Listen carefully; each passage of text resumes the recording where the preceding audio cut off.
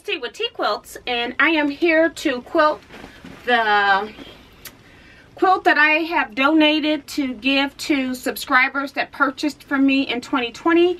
Uh, Judy Judy actually won this quilt top and I am about to load it and I thought that I would go ahead and do an addendum to our video series and show you some of the process. I have been asked by a lot of people how do I load my quilts and so I thought that I would take this opportunity to show you.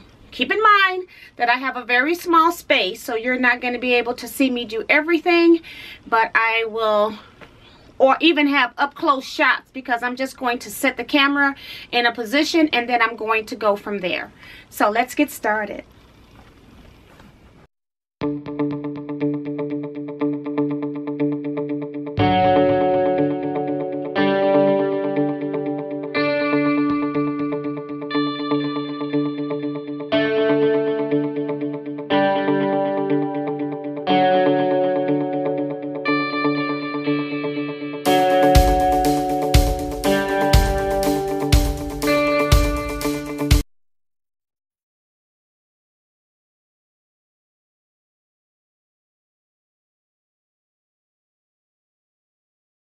So the first thing that I do is that I load my backing. I've already cut my backing to size. I have also already cut my batting to size.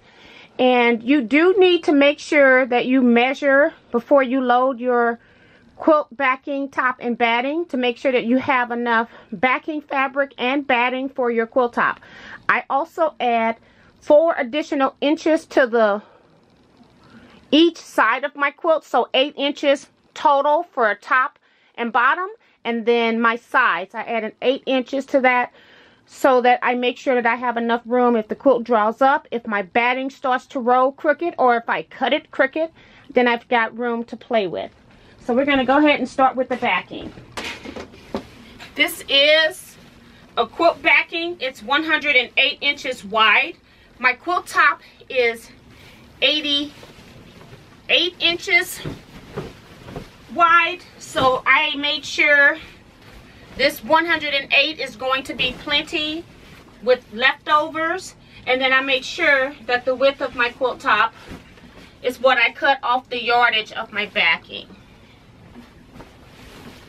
So all I'm doing now is just putting the backing over my frame letting gravity help me with this to hold my quilt backing sort of kind of straight. Uh, notice that I have not worried about where my center is. I actually float my quilt tops so I don't worry about where my center is.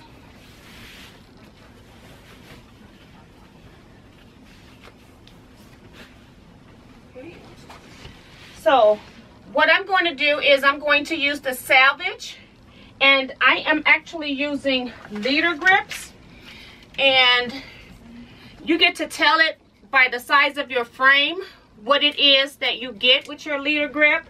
So for my frame which is a 12 foot frame I got four with the long strips and four short strips. They also give you little small ones to hold if you're going to do from the center out.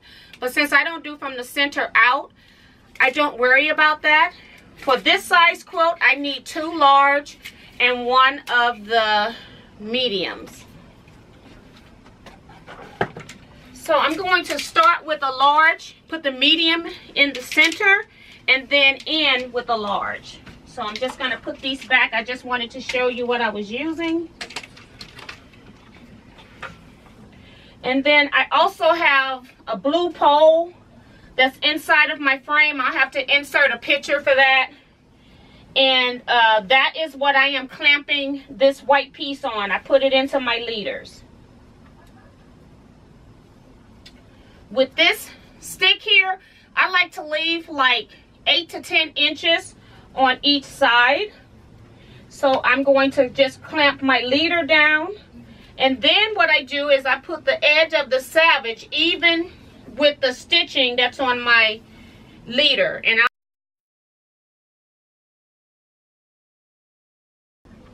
show you the stitching on the leader.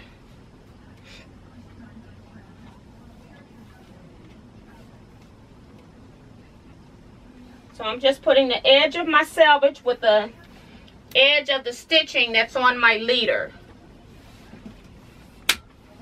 Okay, so that's one. Now I'm going to do the smaller one in the middle. And I have a clamp here just helping me to hold it on the frame. And now we're going to go ahead and put our second leader grip on. And I am going to probably speed this up just so that you don't have to watch me do this the entire time. But I'll put the second one on, which won't take very long. And then I'll speed up on the third one.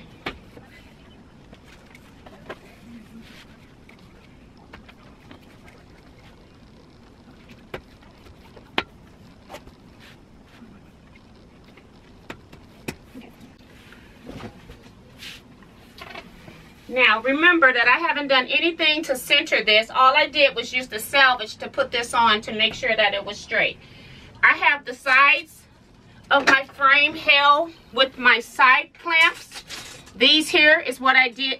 I put this on my leader just to hold it so that it sits up on my frame while I'm loading. And then we're just going to come to the other side and straighten out our backing.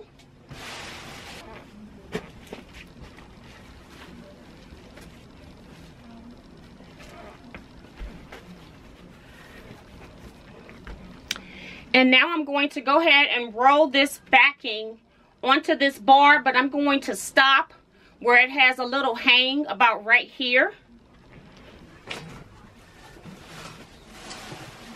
When I'm also rolling my backing on, I just put my hand on this frame, but down on the end. And so as I'm rolling, it keeps my top bar from moving. It's actually my take-up bar, my pick-up bar, however you want to say it. But that's what I'm holding. And I'm looking for the bottom of my end. And I wanted to hang off the... I wanted to hang off the table here.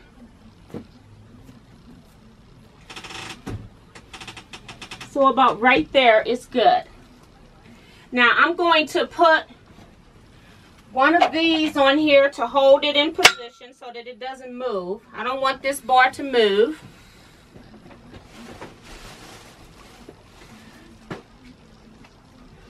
And now it's time for me to come and actually work and put the plastic clamps on this side of the backing. So I already got my pieces laying here for this side. And then what I do is I go ahead and just let this leader fall down.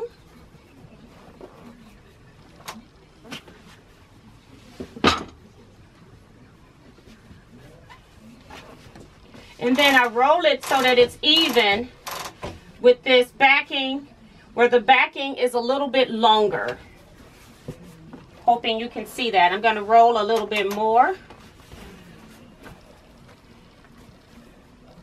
want to make sure I got room to clamp that. So by me doing that, I'm making sure that my quilt is going to be square as I'm putting it onto the frame. So I'm not worried about the selvage on this side. I just want to make sure that I don't have any puckers and I don't have any twisting of my backing that's happening in this area. So this time, I'm going to start about what I think is the center. And I'm just going to start putting my plastic clamp on.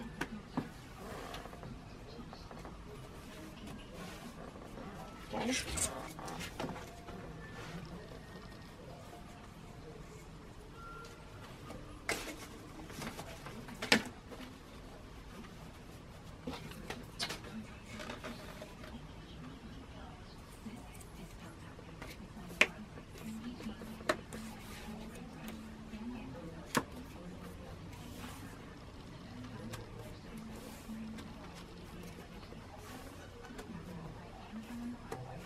And again, I have that eight inches to to 10 inches on each side.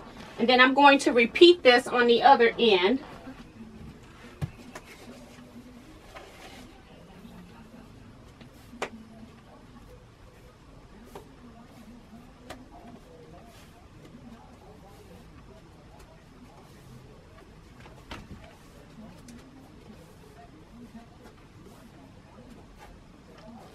okay then once I have this on I just go ahead and let it fall to the inside.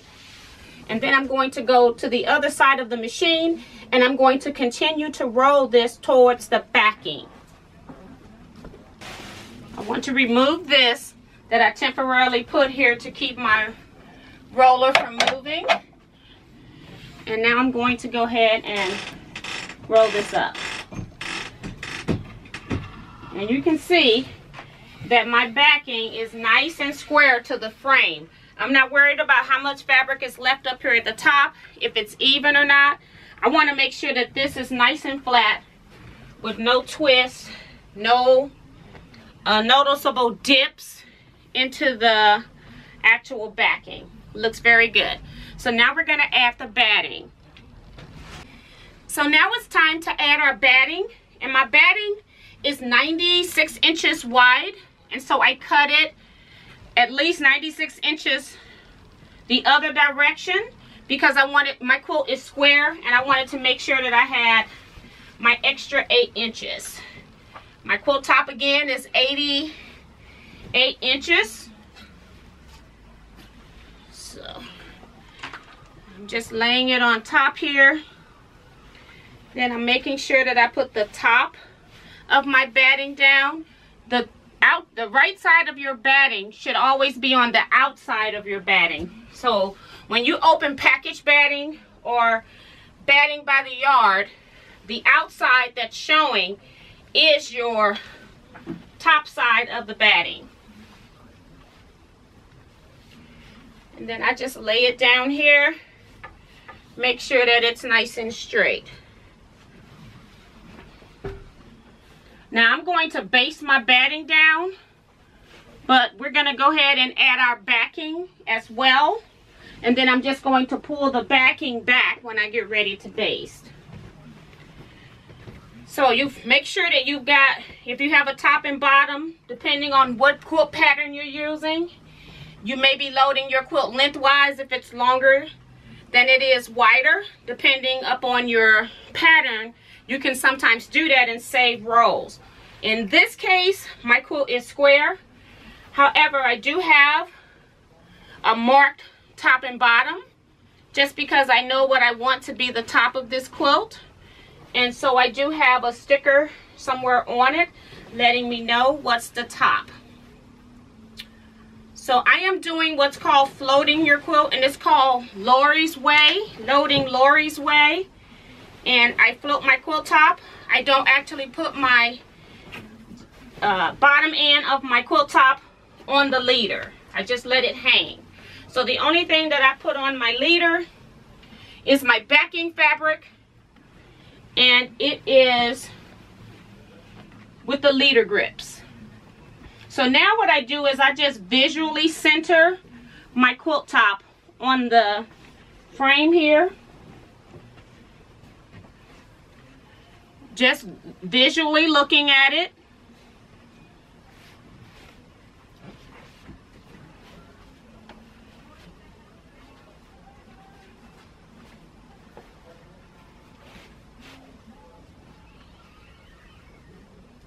And then I'm just going to put a pin on this side just to hold this position over here. And then we will, because we're going to end up pulling this back but I want to hold this temporarily in place so I'm going to use three of these magnetic clamps I got the magnetic clamps from Harbor Freight and I'm just using it so that my quilt top doesn't fall off the frame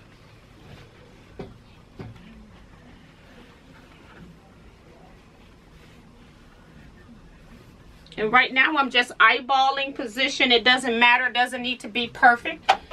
I'm just trying to make sure that I know where I'm going to start so that I don't slide my quilt down accidentally. Okay. So now I'm going to go ahead and pull this back so we can base on our, uh, we're going to do a baseline so we know that it's straight using our horizontal channel locks. So I need to cut my machines on and I'll be right back. So I have my machine set up to do a basting stitch of a half inch. And I'm also putting on my channel locks. And what the channel locks do is they make it so that I can stitch a straight line down. So I'm going to come down about an inch from where I want to start stitching. And I am going to put on my channel locks, my horizontal channel locks. So now I can't move my machine forward, but I can move my machine this way. And what it's going to do is give me a basting stitch. That's a half inch basting stitch. And then I'm going to line this quilt top up to that basting stitch to make sure that I'm loading square.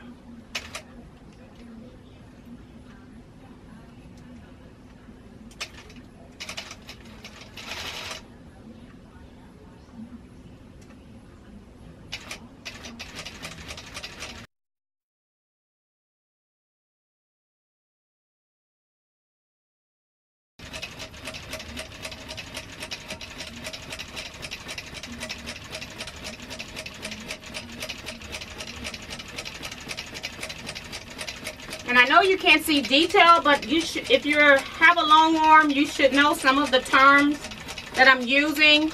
They just wanted to see how I was using the leader grips for the most part, how I load my quilts with the floating technique. So this is my base that I would do on any other quilt top that I'm quilting. I'm down at the bottom. I'm going to go ahead and lock those stitches off and pull up my bobbin thread. So now I have a line that's basted onto my, that has basted my batting to my backing. It is now attached. And then what I'm going to do is put my top to that line and I'm going to use pins when I go to pin that down.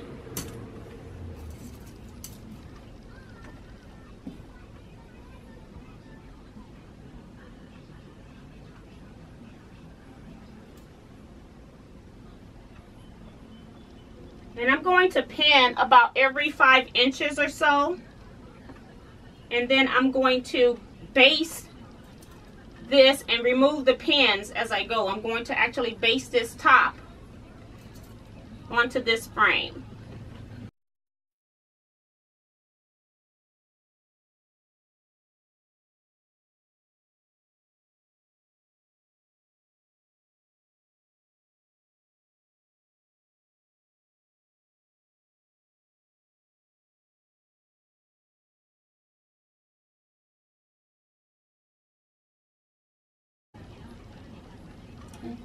So I've just pinned down into the corner.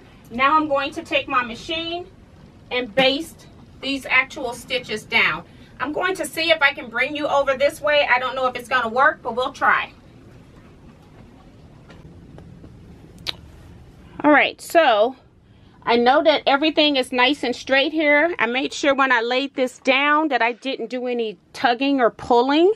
So I know that everything is okay here. So now what I like to do is I'm going to take off my channel locks and now my machine can move in all directions. What I want to do is just stitch right here, come down off my corner. I don't want to start on my corner. I'm just going to come down about an inch, pull up my bobbin thread, and then I'm going to tie off. And now I'm going to go ahead and baste I'm still using that half inch base. And then I want to go back and forth, back and forth on my corners just to make sure that my corners are in place. And then I'm going to go ahead and come down and baste.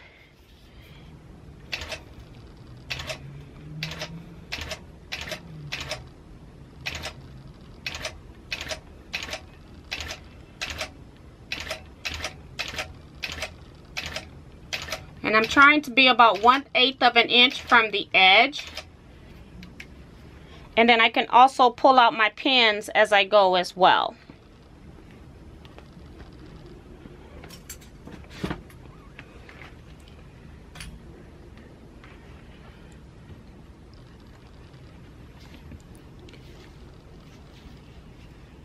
So my arm, normally I'm using, I'm left-handed, so I use my left hand. So I'm trying to make it so that it's not in your way, but hopefully I do a decent job here still. And I'm doing this free-handed. So it's not basted, just long as it's within that one quarter inch uh, seam so that it won't show. when I put the binding on. So I'm going to stop there, remove these pins. And then I'm going to continue on down the quilt.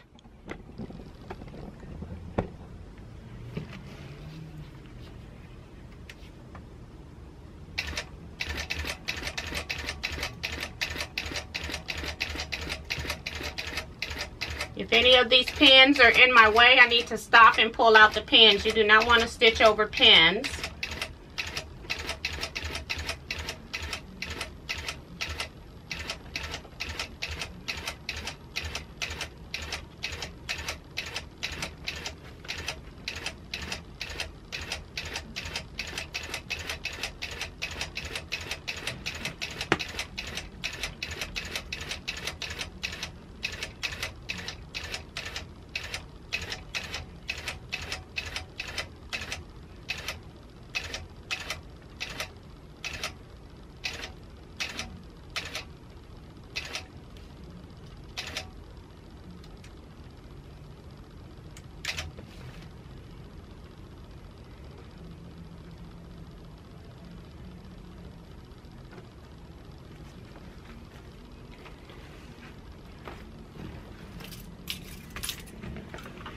So I've got my pins removed that I'm not going to be using later.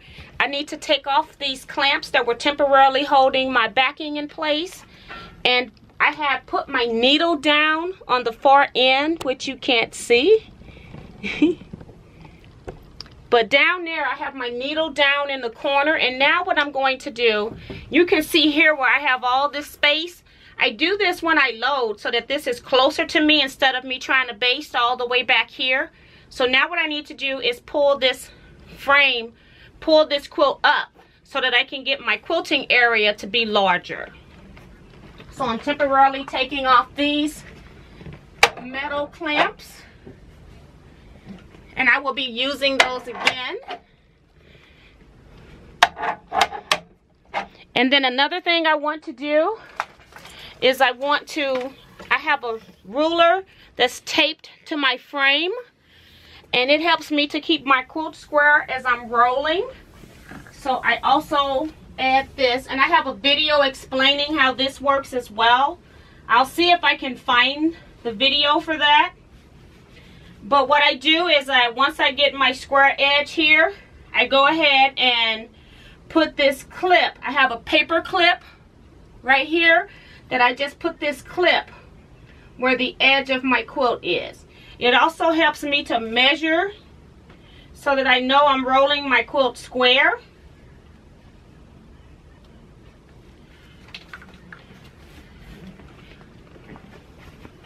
And then I also do the same thing on this side. I go ahead and put my clip on the end as well. And now I can go ahead and roll my quilt top.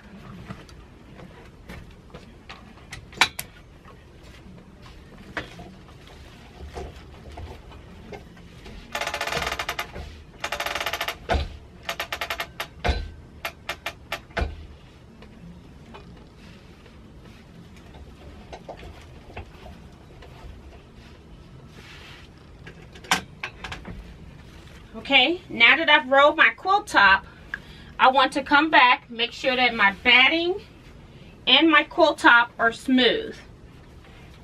then I can put a clamp on it to hold that into position. That's one side. Then I go back and do the other side.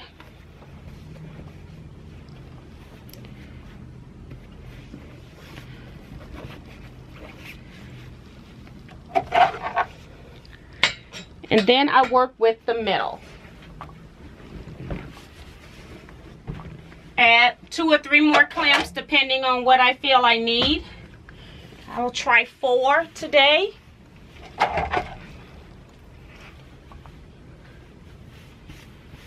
Okay, so now my next step is to go ahead and baste down my sides. And again, this is called Loading Lori's Way. And she also has a detailed video on it as well on YouTube. So now I'm just going to go ahead and baste.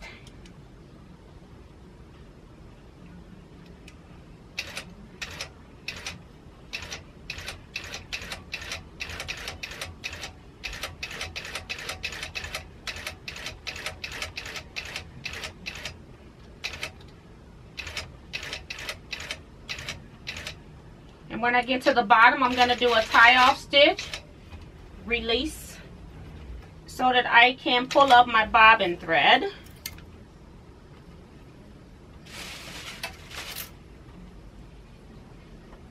And I do use pins. Um,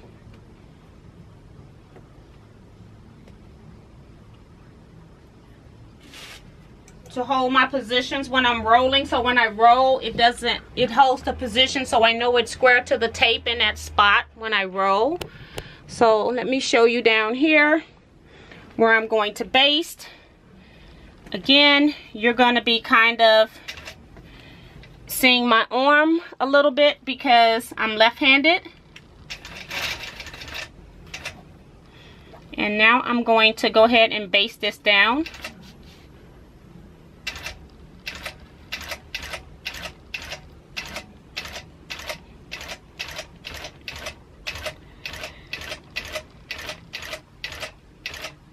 That pin's in the way, I gotta take it out. And come down as far as I can. That's far as I can go. And then I'm going to do a tie off stitch.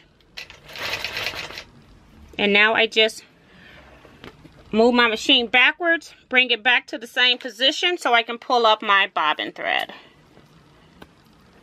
Okay. And then I go ahead and get rid of any excess thread tails from me basting the quilt backing and batting. I mean the quilt top and the batting.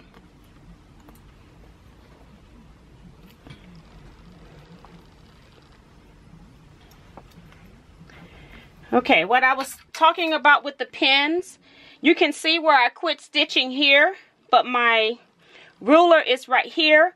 So what I do is I just stick pins in here so that I know my quilt is straight right there.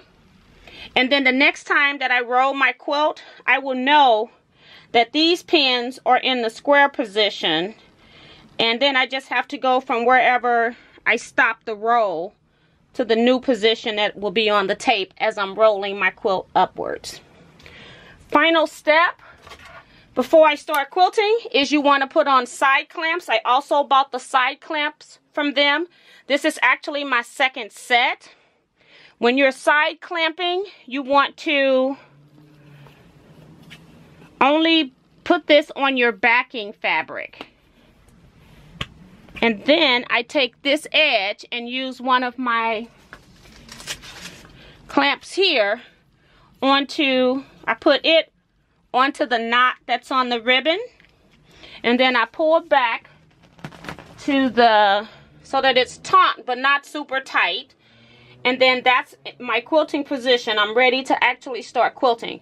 I will repeat this on the other side as well. This is how I load. If you got any additional questions about how I load, please check that out. I am going to do a computerized pattern on this quilt. I've done a video. I'll link it up at the eye above so that you can check out how I actually uh, start my butler process for getting my pattern to quilt out. Everything from um, setting your quilt space to getting your quilt patterns in to actually nesting your row. So I have uh, videos on that. So I will make sure that I link it up at the eye above. Thank you so much for watching. See you next time.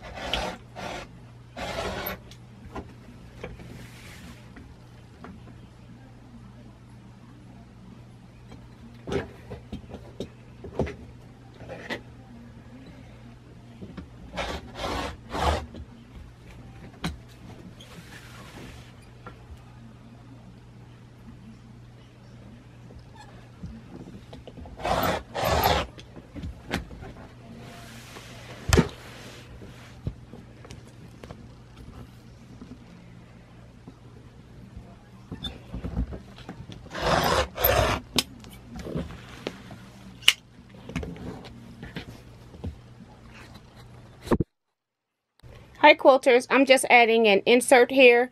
This quilt is actually 84 and 3 quarter inches square. 84 and 3 quarter inches square. Thank you all so much for watching. Please remember to like, comment, and subscribe. Share my channel with your other quilting friends, and I'll see you in my next video. Bye-bye, TeaQuilters. Stay blessed.